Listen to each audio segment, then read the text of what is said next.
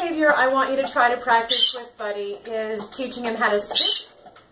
Um, he's got a really good sit already, but I'll show you a couple of, couple of different sort of phases of training this. At first, don't say anything. I want to see. I want to. I want you to find out how quickly he's going to sit on his own. So you're going to take a piece of food and bring it slightly above his head, not really high, just a little bit. So he looks up a little bit and the bottom goes down. Um, so you're going to show him that food and you're going to just bring it up. Good sit. Okay.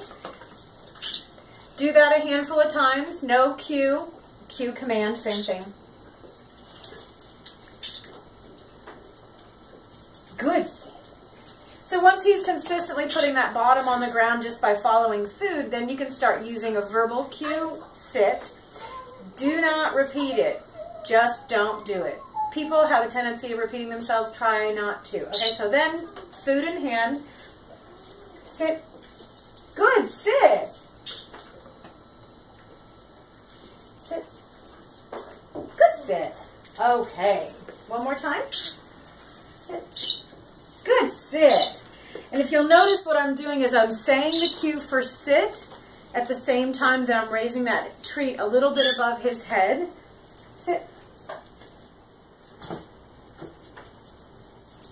Good sit.